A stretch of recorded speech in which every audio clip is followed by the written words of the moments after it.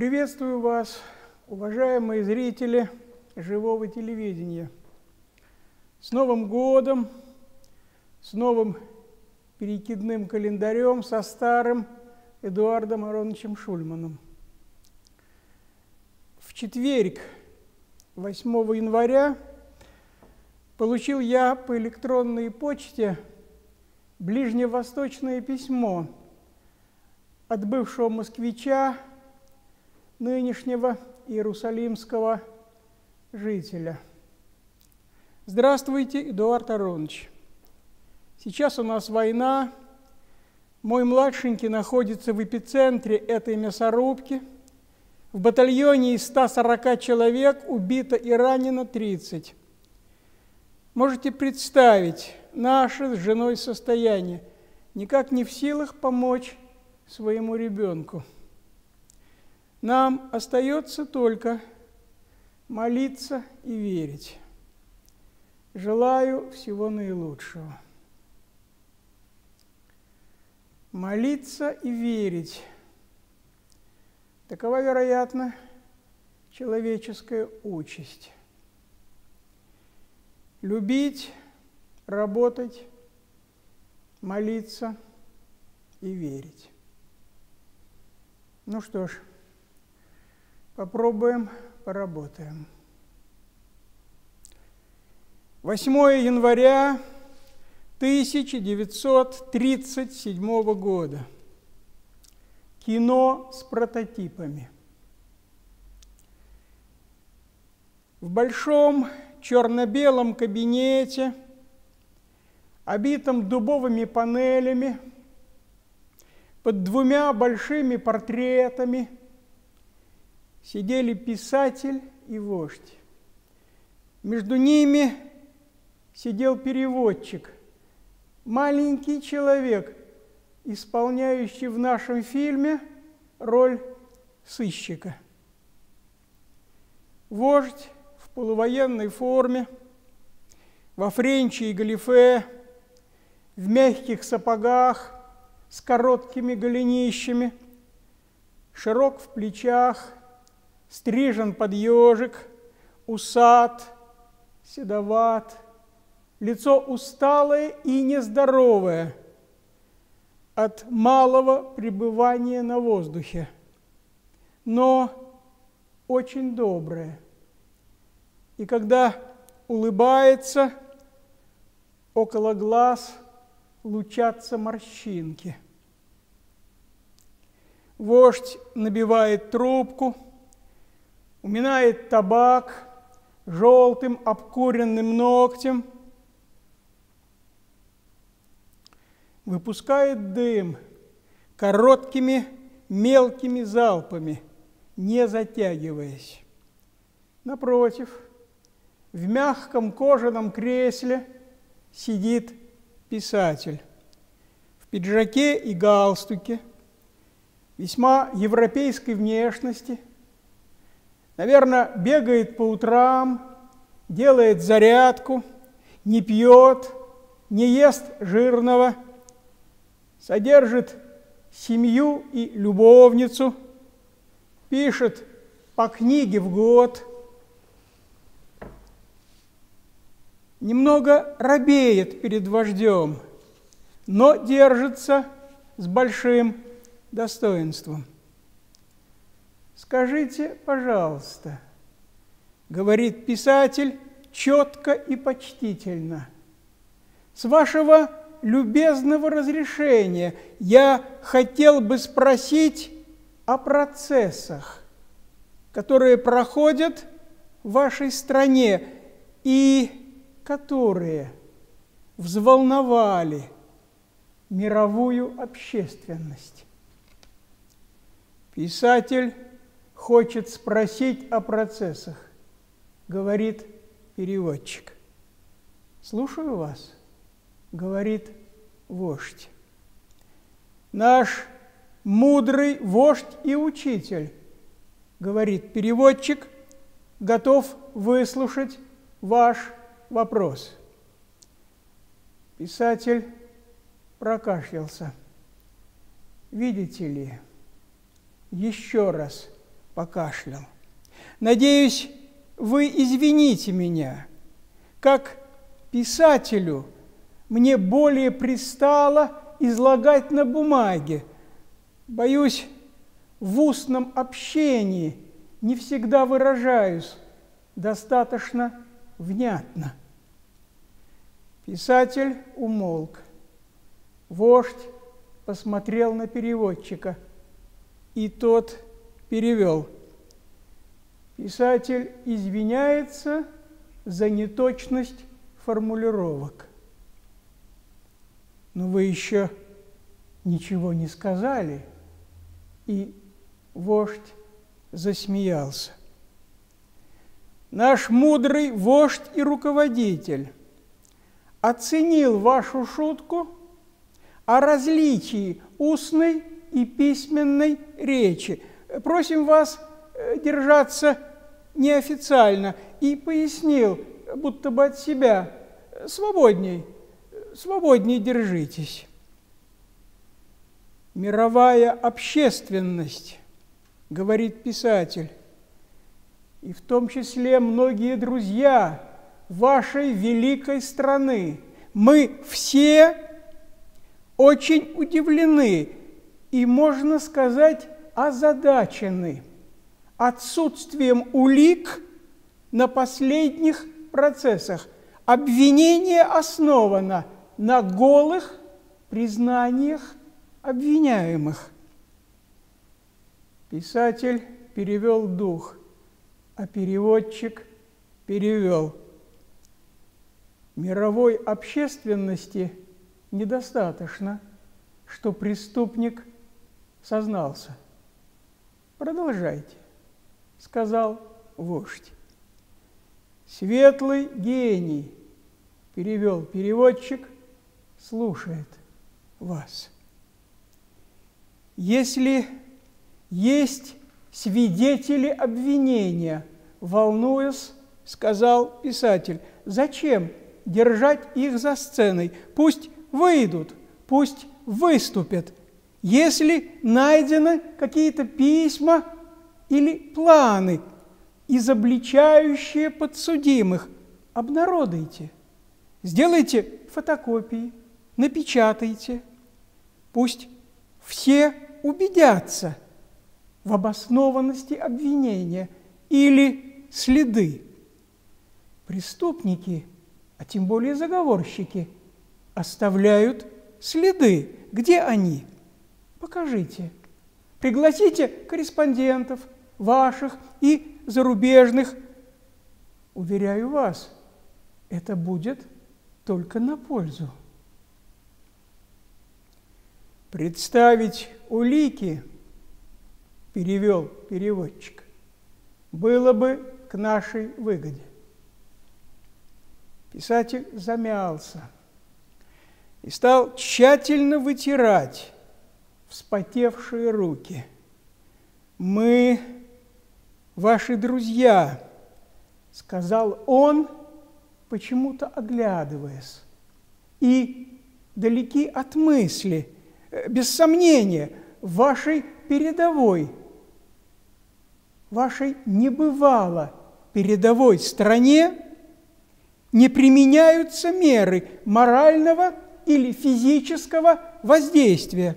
Новое общество исключает такие методы, мы понимаем.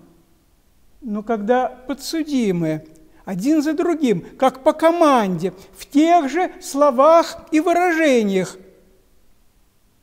мировая общественность скорбит, сказал переводчик, растерялись от добровольных признаний. Вождь достал изо рта погасшую трубку, размеренно ударил по черенку, придвинул пепельницу изящным движением, вытряхнул не спеша пепел, со вкусом разломил папиросу, высыпал табак в трубку, умял, зажег, закурил и поднялся. Тут же вскочил переводчик. Не зная, как быть, привстал в кожаном кресле писатель. «Сидите, сидите», — сказал вождь. «Можете сесть», — перевел переводчик. Писатель сел, а переводчик остался стоять, следуя за вождем взглядом. Вождь ходил из угла в угол по обширному кабинету, в мягких сапогах, по толстому ковру, совершенно бесшумно, чуть в перевалочку, и со стены смотрели на него два портрета – могучий философ и тщедушный военный.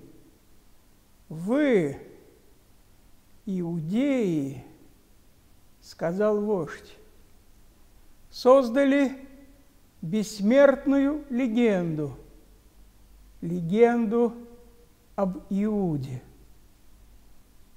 Вы еврей, сказал переводчик, глядя в лицо писателю.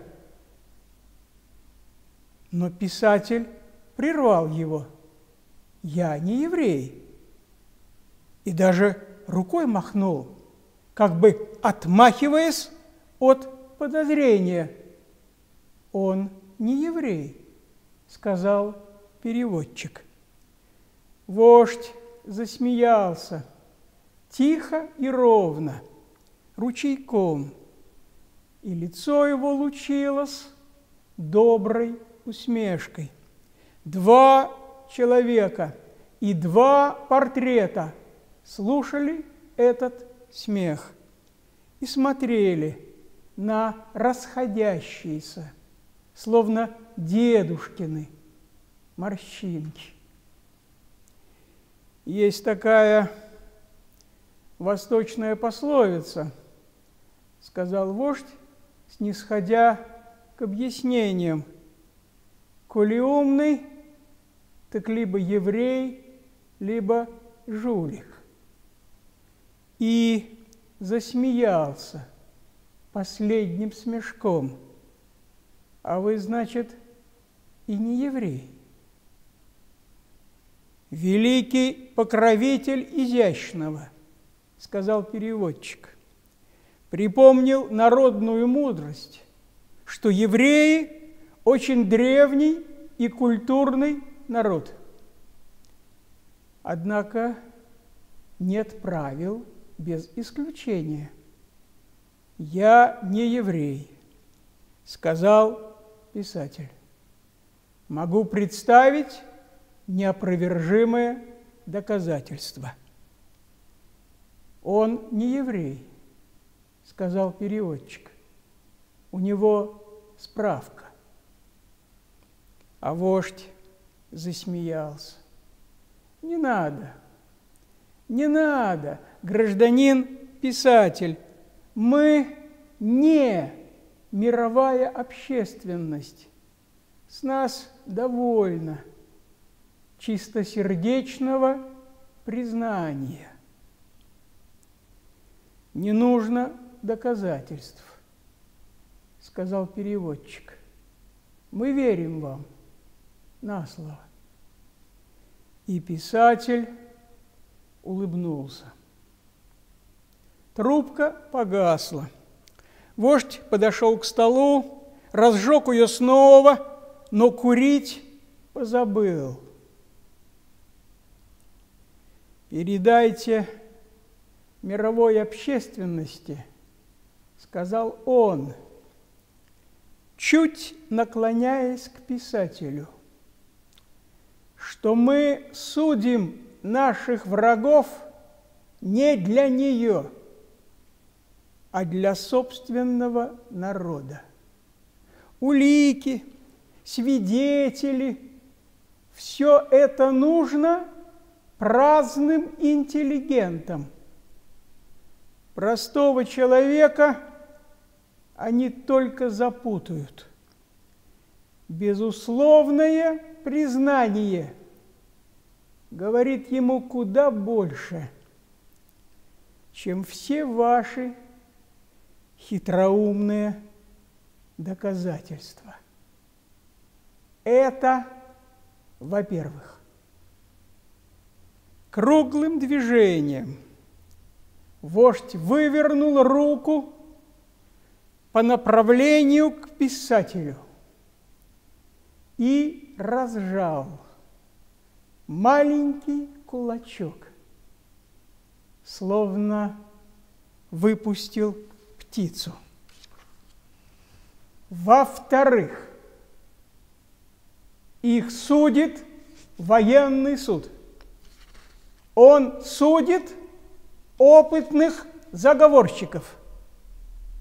А где это видано? Чтобы опытные заговорщики оставляли улики или живых свидетелей. Нет. Вы рассуждаете как романист, а я шесть раз бежал с каторги. Вождь, наконец, закурил и глубоко затянулся. А в-третьих, чего не понимает мировая общественность? Мнят себя солью земли, а сами погрязли в своем гуманизме и университетском образовании. 200 тысяч простых людей пришли на главную площадь нашей столицы и требуют не улик и не доказательств. Они требуют казни для заговорщиков. Продолжение в тот же день. 8 января 1937 года. Надо ли говорить, что писатель в представленной сцене, разумеется, не Фихтвангер. Некоторые текстуальные совпадения ничего не значат, хотя бы потому, что Фихтвангер никогда не отрекался от еврейства. Скорее наоборот, выпячивал. Маяковский некогда пошутил, я поэт, этим и интересен, об этом и пишу. С близкой интонацией Фихтвангер мог бы, наверное, повторить «Я еврей, этим интересен, об этом и пишу». Еврей Зюс, Иудейская война, еврейка из Толедо. Соответственно, вождь, вождь, не тютелька в тютельку, Иосиф Виссарионович. Сходство, конечно же, налицо. Впрочем, заформулируем так. Писатель меньше похож на Фихтвангера, чем вождь на Сталина. Само собой. Третий персонаж, переводчик, не работник ЦК ВКПБ, не зам зав отделом печати и издательств Борис Маркович Таль. И хорошо бы воспроизвести фотографию из центральной газеты с тогдашней шапкой. Вчера, 8 января 1937 года, товарищ Сталин принял германского писателя Фихтвангера – Беседа длилась свыше трех часов. Тот снимок воскресит на мгновение номенклатурного еврея, расстрелянного перед войной. Ну и сменяем его на жида –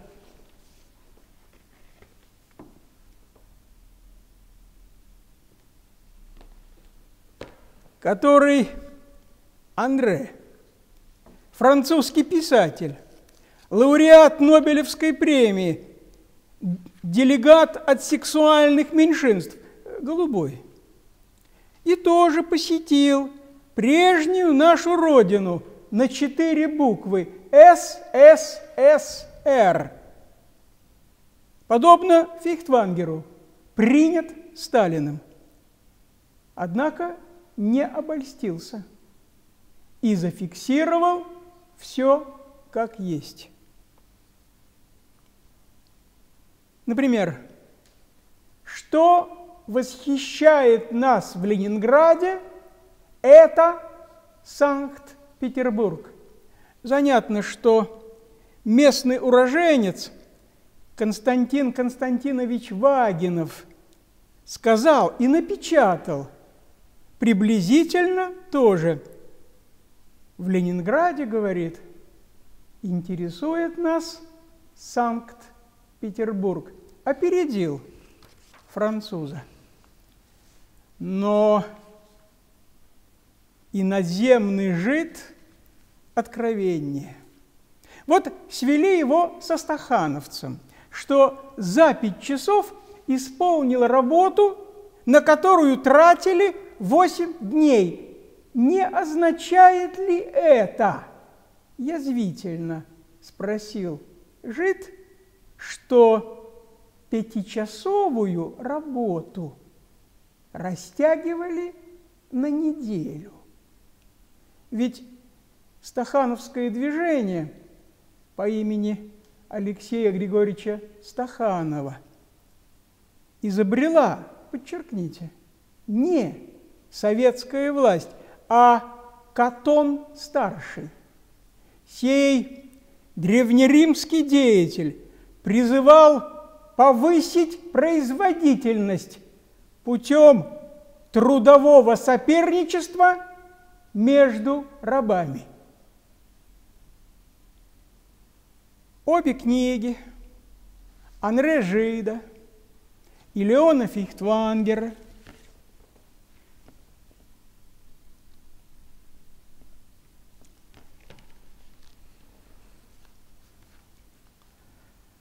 изданы у нас под одной обложкой. Комментаторы дружно выясняют, почему жид отстаивал правду, а Фейхтвангер, увы, отступился. Попробую ответить. Однако не в полном объеме, а в отдельной поверхностно взятой плоскости. Приведу воображаемую цитату. «Я сталкивался в Советском Союзе со многими голубыми из различных кругов и подробно беседовал с ними. Случалось, они говорили, я уже долгие годы не думал о том, что голубой. Ваши вопросы напомнили мне об этом. Раньше их бойкотировали, преследовали. Теперь они крестьяне, рабочие, интеллигенты, солдаты, полные благодарности новому режиму. Как вы уже догадались, цитата принадлежит Фихтвангеру. Приписав ее жиду, мы заменили существительный еврей прилагательным голубой. Ибо как раз голубые проблемы тревожили Анре Жида. О них, среди прочего, толковал он со Сталиным. Сочувствие, естественно, не обрел. Слов нет. Настоящий художник не отклоним от истины по своей природе, в силу внутреннего устройства. Это бесспорно главное и основное причина с большой буквы и причина в разрядку. Но существует и повод. У Анре Жида голубой, у Леона Фихтвангера желтый. По цвету звезды, с которой погибнут в скорости 6 миллионов звездоносцев. Уйдут дымом через трубу в концлагере с задачей отвести смерть. Прибыл Фейхтвангер в Москву. Да, он кривил душой, отворачивался от правды. Но то была ложь во спасение. Важно убедить Запад, что Сталин, каков не есть, противник Гитлера и, следственно, его Запада союзник. Антигитлеровская коалиция сложилась в 1941 году. Фейхтвангер мечтал о ней в 1937 до Мюнхена, до Советско-Германского пакта, до захвата Прибалтики и раздела Польши, до 22 июня. Ему не поверили. Запад отнесся с презрением, Восток с подозрением. Как, блин, засуетилось шустрое племя. Ну, ладно бы, заокеанские толстосумы или писатели-гуманисты, а то Литвинов, нарком иностранных дел, твердокаменный большевик и хлопочет о коллективной безопасности, сватает нас англо-французскому капиталу. Нет, торгаш он и есть торгаш. Мейер Вулах из Белостока. А журналист Кольцов Фридленд, а жены ближайших соратников Андреева, Ворошилова, Молотова уж не о том ли гипотетически размышлял вождь, внимая писателю. Кивал, посасывал трубку, усмехался и, бросив прощальный взгляд на старую газетную фотографию, мы заключим наши календарные заметки двойным хроническим, двойным ироническим титулом «Жид Фейхтвангер» или «Святая ложь». Примечание. Вулах, Валах, паспортная фамилия Литвинова, но в немецкой национал-социалистической литературе и пропаганде фигурирует он не иначе, как еврей Финкельштейн, поскольку был одноименный немец Карл Вильгельм граф Финк фон Финкельштейн, министр иностранных дел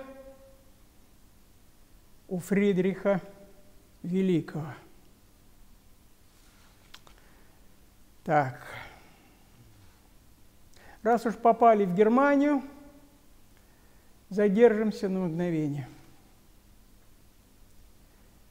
20 января 1942 года в берлинском пригороде Ванзее подписан протокол об окончательном решении еврейского вопроса. Деньги для гетто. Небольшая монетка, очень легкая, никель, шестиугольная звезда, почти стертые буквы, еврейский совет старейшин, гетто, Лицманштадт. Такой плоский металлический кругляшок достался моей знакомой от деда-фронтовика. И вот она спрашивает, знакомая, кому бы продать, сколько примерно стоит? Будь я специалистом, заглянул бы в нумизматический словарь, но я не специалист и роюсь в другой литературе. Эту редкую малотиражную книжку привез когда-то школьный приятель.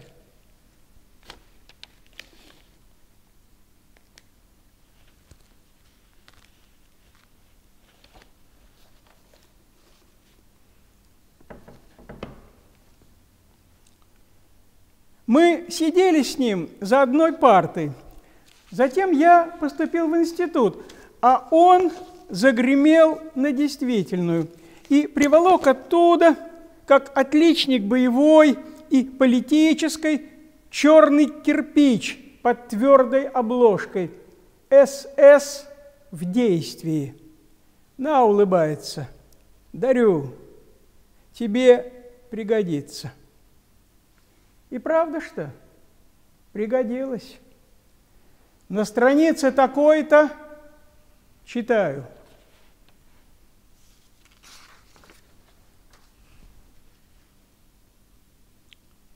Гетто Лицманштадт.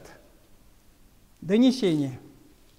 В 15 часов, находясь на посту, заметил я старуху-еврейку – которая влезла на забор, просунула голову и пыталась схватить свеклу с проезжающей машины. Пришлось применить оружие. Двумя выстрелами еврейка была сражена. Вид оружия – карабин. Израсходованные боеприпасы – два патрона – Науман, вахмистр охранной полиции. Прочел, заложил страницу, отправился на работу. Вечером за ужином включил радио. Передают про какого-то немца. Вернее, он наш, тутошний. Родился на Украине и подростком встретил войну. С мамой и папой – застрял в оккупации. Зарегистрировались как Volksdeutsche, природные немцы. И разом с германскими войсками откатились на запад. В городе Лицманштадте предоставили им пустующую квартиру на главной улице. Потом как говорится, силой вещей. Очутилось семейство на Колыме, в лагере. Мама с папой погибли. Бывший подросток реабилитирован, осел под Москвой, подал на иммиграцию, как Volksdeutsch считает себя полноправным германским гражданином еще в Лицманштадте – ему и родителям вручили соответствующий документ. А немецкое правительство ни в какую. Вы, дескать, по статусу гражданин Третьего Рейха. Но при чем здесь мы? Федеральная Германия. Бундесрепублик Дойчланд. Так что извольте на общих основаниях. А упрямец наш не согласен. Гражданин, блин, и точка. Который год судится, потрясая ветхими архивными справками из города Лицманштата. Да где же тот Лицманштат? В Чехии, что ли? В Восточной Германии? Есть у меня кузен по матери моей тетушки Рабинович, а по отцу Петров. С латентным, значит, потаенным происхождением. В свое время по материнской линии из-за матери сильно его донимали. Ну и допекли, раскрылся, придумал себе псевдоним Израиль Петров и преподает историю сионизма. Карл Лицман меня просвещает, немецкий генерал. В Первую мировую войну на Восточном фронте осуществил прорыв под Бжезянами. И когда во Вторую мировую немцы расколотили Польшу, они в его честь переименовали Лодзь. Ах, вот оно как. Лодзь, где каждый третий еврей. Выселили из центра. Дома и квартиры отдали немцам. В гетто на пятачке теснилось 160 тысяч местных, 20 тысяч пришлых, плюс 5 тысяч европейских цыган. Главой Юднрата, еврейского совета, был некто Румковский. При нем работали больницы, аптеки, школы, а главное – оборонные предприятия. Посредством ударного труда надеялся Румковский уберечь евреев от депортации. Советская армия-освободительница застала в живых 880 человек. Деньги для гетто. Излагаю по словарю нумизмата, куда наконец-то забрался. Деньги для гетто. Чеканились и печатались немецкими оккупационными властями из гетто в Лодзи, Лицманштадте. Сохранились монеты в 10 фенигов, в 5, 10 и 20 марок, алюминиевый и алюминиево-магниевый сплав. Особой нумизматической ценности не представляют. Отлеснем календарь назад, переместимся в Советский Союз середины прошлого века. Эпоха страха и восторга. Период праха и масторга. 13 января 1953 года нам сообщили в газетах, что арестована группа врачей, профессора Вовси, Коган М.Б. и Б.Б., Фельдман, Эттингер, Гринштейн и другие. Позднее стало известно, что разоблачила профессоров рядовой врач, женщина, вместе с ними работавшая. Вскоре после смерти Сталина, через месяц, профессора были освобождены и реабилитированы. Бдительная докторша лишилась ордена и прожила до глубокой старости. Мы, ниже подписавшиеся, летом после войны мне показали дом, где я родился. Узкую, неширокую яму двух цветов. Красный кирпич, битые, колотые осколки и зеленый пыльный репейник. Мать и отец ходили по развалинам, вспоминая старых соседей. А я собирал про запас гибкую проволоку, чтобы одарить ею весь двор и наделать пистолетов, стреляющих колючками. Мы жили в бывшей комнате для прислуги. Вечерами, разложив на коленях планшет, отец сочинял заявление «Я, ниже подписавшийся» и далее по пунктам, от чего нам необходима другая комната. Мать укладывала меня на столе. Перед сном я вытягивался, что есть силы, стремясь ногами достать буфет. Хоть пальцами ног, хоть кончиками пальцев. Мне обещали, что купят велосипед, как только вырасту. И вот однажды, к тому времени, считая по числу дней, вытягивающее упражнение было проделано две с половиной тысячи раз однажды зимой. Я ощутил пальцами холодный буфетный бок. Сперва испугался, не сполз ли с подушки, не сжульничал ли. Потом лег повыше, и ноги опять уперлись в буфет. «Мама!»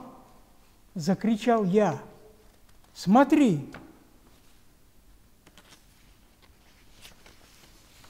Мать подошла и увидела, что ноги мои царапают краску. Отец тоже подошел – а я из разных положений бил по буфету ступнями, удивляясь собственной длине и проворству. «Какой ты стал большой», — сказала мама. «Ну, спи». Они погасили свет и пошли на кухню. Я лежал радостный и слушал радио. Позор вам! Общество обломки за ваши черные дела, а славной русской патриотке навеки вечная хвала.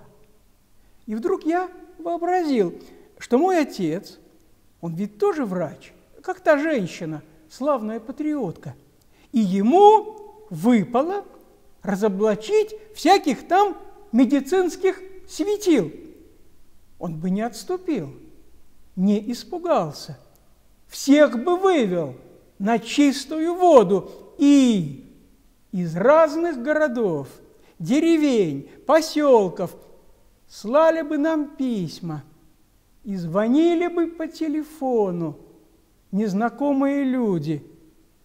И сам товарищ Сталин наградил бы моего отца орденом. отец сидел на кухне и, пользуясь отсутствием соседей, обсуждал с матерью, куда направить очередное заявление. «Ты упустил свое время», – сказала мать. Когда пришел из армии, само слово «фронтовик» открывало все двери – Сергей Сергеевич до сих пор тем и держится, что фронтовик. «А что, если сходить к нему?» – спросил отец. «К Щегляеву. а? Мать ответила, что попытка не пытка, хотя время все-таки упущено. Вот когда я был маленькой, другое дело. Надо было идти куда следует и напирать на то, что разве маленький ребенок может развиваться в такой обстановке. Комната 7 метров, вход через кухню, под окном лаборатория, от которой несет за версту. А теперь что же? Мальчик уже большой. Ага, подумал я. Вспомнили, что вырос. Но они продолжали шушукаться. Комната, Щегляев, ниже подписавшаяся, как будто был самый обыкновенный день, как будто не сегодня, не только что наступил срок исполнить обещанное. Я выскочил в кухню и прокричал им об их предательстве. «Иди спать», — сказал отец. Но я кричал, что они не имеют права и должны купить велосипед, взрослый, настоящий велосипед, раз я достал до буфета. «Вчера иду домой», — сказала мать тихо, а девчонки притаились в парадном и дразнят.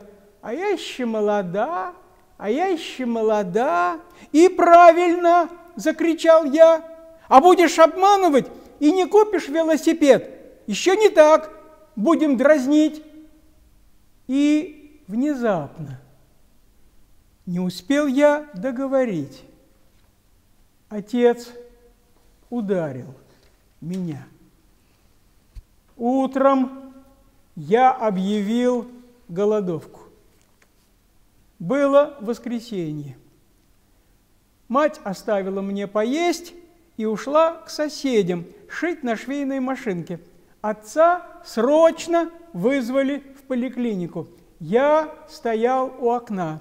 Гошка забрался на крышу сарая и раскидывал снег детской лопаткой. Нурмаханова мела двор. Почти весь снег уже сгребла, а Гошка пылил с крыши, подбавлял работы.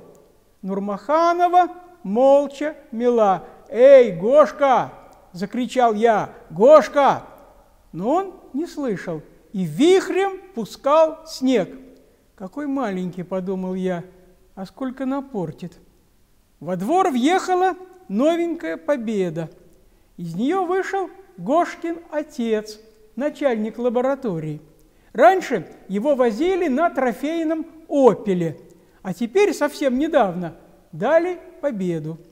Нурмаханова сняла Гошку с сарая, и он побежал к машине. Шофер лихо тронулся, изрядно помяв сугроб. Нурмаханова убрала Гошкин снег – намела сугроб наново. Я вышел на кухню, но там по-воскресному шипели сковородки и очень пахло оставленная матерью еда. Для сохранения сил улегся на диван к стенке лицом. Разоблачение презренной банды врачей-убийц – еще раз напоминает о той ненависти, которой охвачены. И слушая радио, я мечтал не о том, что отец, герой, обнаружил шайку отравителей. Нет, я сам обнаружил. И меня награждают и пишут в газетах и о моем здоровье, как о здоровье той женщины, молится наша соседка и лично товарищ Сталин. Дверь распахнулась, и в комнату вбежал отец. «Зови мать, пир будет!» И вывалил на стол целую кучу свертков. Железно стукались консервы, толстая колбаса подпрыгивала, как мячик. Отец стоял в дверях, весело блестя глазами, густо обсыпанный снегом, без шапки. Что с тобой? Суетилась мать, не выпуская шитье. Что это значит? И мне даже стало жалко ее, такую недогадливую. Ясно же, отец решил задобрить меня, чтоб я отказался от велосипеда. Знаешь, откуда я? Отец сильно взмахнул рукой, устроив в комнате снегопад. Что с тобой? Трясла его мать. Я был у Сергея Сергеевича, крикнул отец. Да успокойся же. И мать еще сильнее сжала свое шитье. Отец засмеялся. Двадцать минут на назад я был у Щегляева, сбросил пальто прямо на пол и обнял мать. Понимаешь, у Щегляева слег сынишка. Прежде они обращались Гельфанд, но в связи с последними событиями, понимаешь, в общем, ее нет в городе. Рахиль Марковна испугалась мать, тиская свое шитье. Неужели и Рахиль Марковна? Отец подобрал пальто и зашептал что-то матери на ухо, наверное, о судьбе Гельфанд.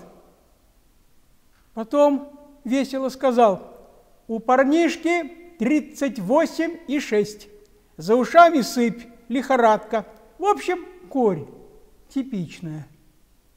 Мать разворачивала покупки – а сам Щегляев, рассказывал отец, очень любезный человек.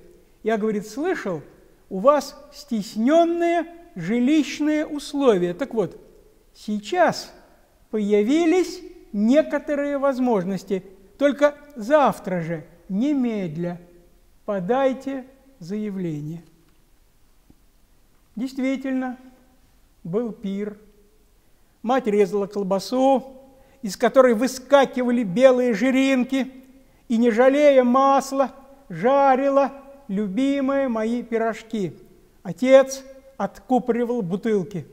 Сели за стол. Отец налил белого себе, красного матери, а мне фруктовую воду. «Ступай к столу», — сказала мать. Я не пошевелился. Она позвала еще раз. «Зачем тебе велосипед?» Подсела ко мне мать. Подожди до лета, и тогда устраивай голодовки. Ведь не будешь по снегу кататься. Я повернулся спиной.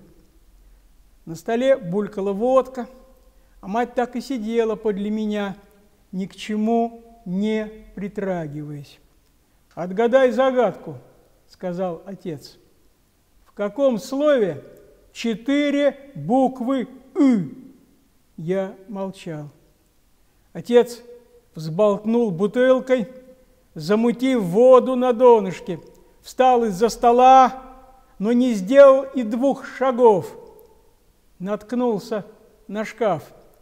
Эта комната закупорена, как бутылка, сказал отец. А человеку нужен воздух, простор, Тебе снится зеленый цвет? Спросил меня. Верно? Снится? Хочешь сесть на велосипед и укатить далеко-далеко? Ведь правильно? Да? Нет, сказал я. Потому что зачем врать? Мне не снится зеленое. А если спросить, для чего тебе велосипед? Не сумею толком ответить. Просто знаю, что не могу без него. Вот и все. Отец взял меня на руки и посадил за стол. «Праздник, всем праздник!» – сказал матери. «Купим велосипед!» И стал кормить меня ласково и насильно – «Папа», — сказал я, — «а в каком слове четыре «ы». Он взъерошил мне волосы. «Эх ты, пыт!» И когда мать отвернулась, угостил водкой. По обычаю прежних вечеров разложил на коленях планшет и забормотал «Мы, ниже подписавшиеся...» Мать отговаривала его «Не сейчас, завтра». Но он упрямо сочинял заявление «Мы, ниже подписавшиеся» и, улучив момент, опять налил мне водки. Я выпил и закашлялся. Мать забрала со стола бутылку после консервов для дезинфекции. Засмеялся отец. Мы, ниже подписавшиеся, э, пусть привыкает.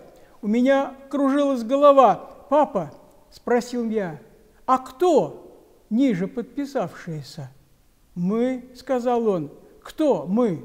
Ну, мы, я, ты. Ну, как же ты ниже? А кто выше? Никто не выше, сказала мать рассудительно.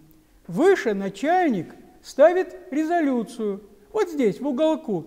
Щегляев напишет «Не возражаю» или «Согласен». Значит, Щегляев выше – Спросил я. Егошкин отец, начальник лаборатории, он тоже выше. Ну да, кивнул отец, не мешай. Мы ниже подписавшиеся. Но я не понимал, как он может писать про себя ниже. Мой отец самый большой, самый добрый, самый хороший человек на свете. Как же ты ниже? кричал я раз был на фронте. У тебя два ордена и нашивки за ранение. Напоил ребенка, сказала мать. Отец засмеялся, а я кричал громко и все о том же, что если мой отец ниже, то мне не нужно никакого велосипеда. И чтобы заглушить мой крик, мать включила радио на полную мощность. Еще вчера мы не знали этой женщины – а теперь имя ее – символ высокой бдительности, непримиримой мужественной борьбы. Выпьем, сказал отец, трезво и торжественно, по последней, и встал. Нам дали грузовик и двух рабочих. Мы уложили вещи по чемоданам, узлам, корзинам, но прежде чем выносить мебель, мать сказала, будто извиняясь, присядем перед дорогой. И улыбнулась опять же извиняющейся улыбкой, по обычаю. Все-таки столько здесь прожили, мы сели. Отец с матерью вместе, обнявшись, рабочие в кухне через дверь, я за свой стол. Было очень тихо. По радио играла веселая музыка. «Ну», — сказала мать, и все приготовились подниматься, но музыка неожиданно оборвалась, и никто не решался встать первым. «Передаем правительственное сообщение», – громко сказала радио. «Передаем правительственное сообщение». И рабочие вошли в комнату. В ночь на 2 марта – у товарища Сталина, когда он находился в Москве, в своей квартире, произошло кровоизлияние в мозг. Для лечения товарища Сталина привлечены лучшие медицинские силы. Передаем правительственное сообщение. Под рассказом дата. Март 1963, к юбилею. 10 лет, как умер Сталин. В 90-е годы данный текст опубликован по-французски, натурально в Париже и в Израиле первородном состоянии на языке оригинала. А прошлой весной, с разрывом почти в полвека, издан, наконец, здесь, на родине, в моей книжке «Еврей Иванович». До свидания, уважаемые зрители живого телевидения. До встречи в феврале. Глубокий поклон всем, кто нас слушает.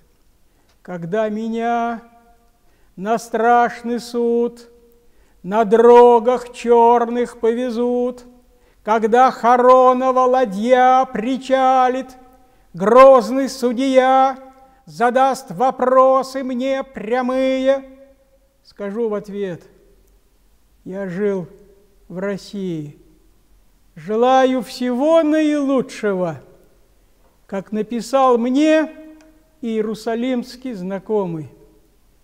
Любить, работать, молиться и верить.